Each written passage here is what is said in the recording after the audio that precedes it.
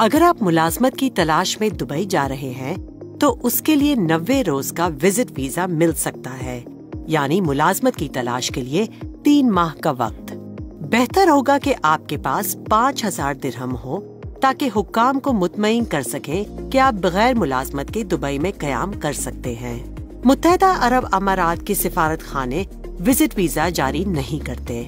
इसके लिए आपको किसी इमारती एयरलाइन, टूरिस्ट एजेंसी या जिस होटल में कयाम करना चाहते हैं, उससे रबता करना होगा।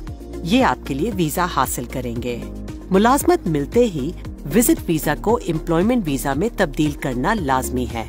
मुलाजमत देने वाला इदारा इसके लिए आपकी मदद करेगा। विज़िट वीज़ा पर मुलाजमत नहीं मिलेगी। वर्क वीज़ा के लिए आपको मुलाजमत देने वाली कंपनी के कमर्शियल लाइसेंस और दीगर दस्तावेजात की ज़रूरत पड़ेगी। मुतहदा अरब अमारात में हुकूमत से मंजूर शुदा किसी सेहत मरकज से मेडिकल सर्टिफिकेट हासिल करना होगा। आपकी तालीमी असनाद के मुताल हुक्काम से तस्दीक शुदा कॉपियाँ भी ज़रूरी है। यूएई ने मुलाजमत की ख्वाहिशमंद अफराद के लिए जॉब एक्सप्लोरेशन एंट्री वीज़ा मुतारफ कराया है। इस वीज़ा के लिए स्पॉन्सर की ज़रूरत नहीं होगी।